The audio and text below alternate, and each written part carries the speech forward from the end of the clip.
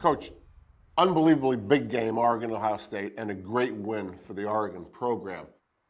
It didn't unfold quite the way you thought it would. Explain that. Yeah, and, and talent equated matchups, that's what it was. Two great Right, teams, right, great right, teams. right.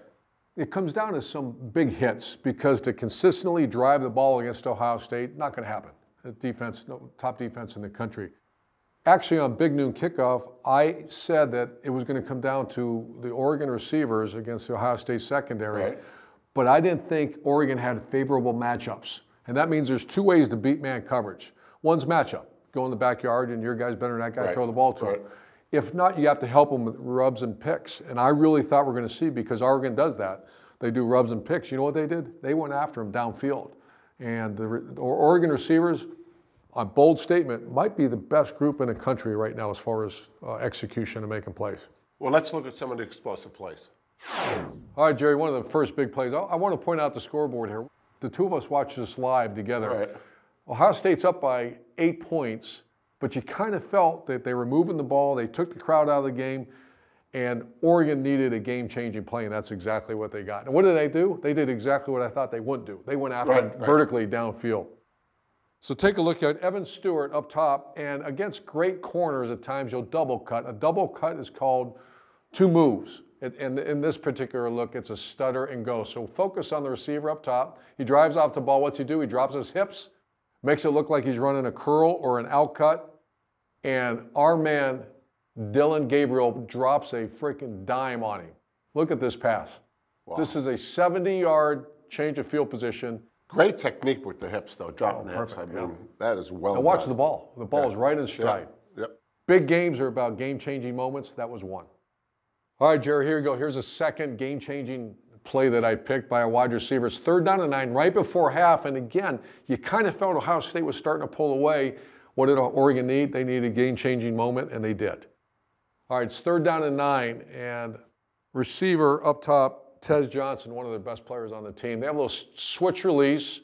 And instead of doing a double cut, they just go right over the top. So third down and nine, you would expect Oregon to do what? Run crossing routes, like I said they probably would do because they showed that on film. And Ohio State is playing zero hole. Right. So I want the viewer to watch this. They're only really rushing two defenders. And what are they doing? They're dropping people underneath. Why? because of the crossing routes. Right. Right. So Tez Johnson here, man, he's a, a hell of a player, and this is a great throw. I mean, Dillon Gabriel, This is by far his best game. Best game. This is why he went and why they recruited him for, for these type of players to put him in the national championship hunt. Coach, I don't know about you. I'm, I'm shaking just looking at this the scoreboard. I'm, I'm sweating right here watching this. Fourth down and one. Oregon's down by six in the biggest game of the year. And I'll tell you what, the Oregon coaching staff dialed up a heck of a play, and there's a lot to unpack with this play. All right, fourth down and one. And anytime it's fourth and one, it's not a surprise. They're in man coverage. They're going to stop what? Stop the run. And so, Oregon, the best thing to do in a fourth and one situation, if you have the courage to throw the ball, which is a pretty uh, courageous call, is you want to try to do this. And what I mean by that, you're trying to blind the linebackers or the second level players because they have run responsibility and they have pass coverage responsibility. If you do this, you take their eyes off your defender for a split Right. second and guys get open. So, how do you do that? You do shifts of motion. So, let's go back. What's a shift? A shift is when you start in a formation and shifting gets set. That's exactly what they're doing. What they're trying to do is get Terrance Ferguson open, number three. And between the linebackers or second level of the defense, they have man coverage on anyone coming out of the backfield. Perfect execution by Oregon on a fourth down and short. wow. Let's take a look at the end zone copy.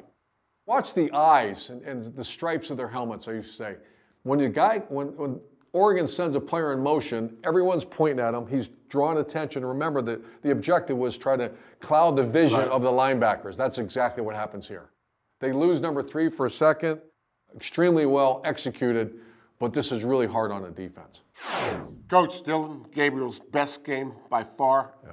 passing the ball, but he also ran it for a big play. You know, we used to have a saying that when I needed you the most, you gave us your very best. Dillon Gabriel, look at this moment again 22, they're down by six, it's in the fourth quarter, and it's third down and two. When I needed you the most, you gave us your very best. Here they run just a really, it's a simple day one install Right, read play, right. cue read play. They catch Ohio State man coverage. The defensive end closes. He's reading them. And here, just great effort. Makes a safety miss.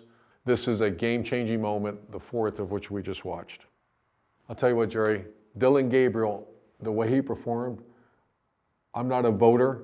He got himself a seat at the Heisman Trophy uh, Awards. I'm not saying he won it, but he'll be there after the performance he just had. I'm a voter, and I'm going to consider him.